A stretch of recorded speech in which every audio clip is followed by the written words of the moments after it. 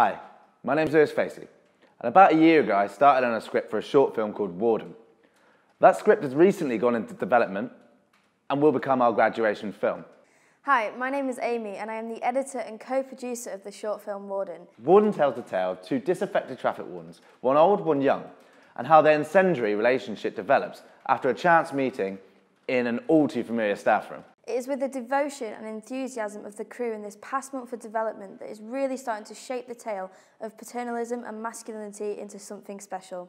The thing is, short films are never cheap to make, and this project is no different.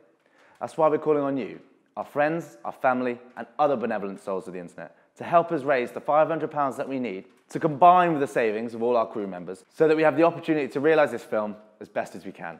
We already have our cinematographer, Daniel Morton, and producer, Cameron Marshall Harris, and we have cast Andy Umera of the role of the younger traffic warden, Jamie. We are currently finding ourselves limited with the range and suitability of the filming locations available. It is with the funds raised by you that will help us make that step forward into finding a more interesting and appropriate staff room location.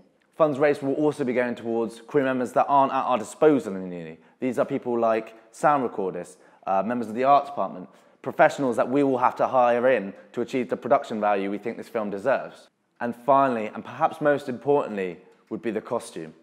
Traffic wardens have a very iconic appearance, and replicating that image is very difficult on a tight budget. With help from the funds raised by you guys, we'll be able to achieve an authentic uniform, adding a whole new gravitas to these characters' performance and an air of authenticity to the final piece.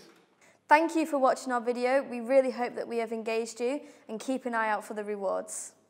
Thanks for watching.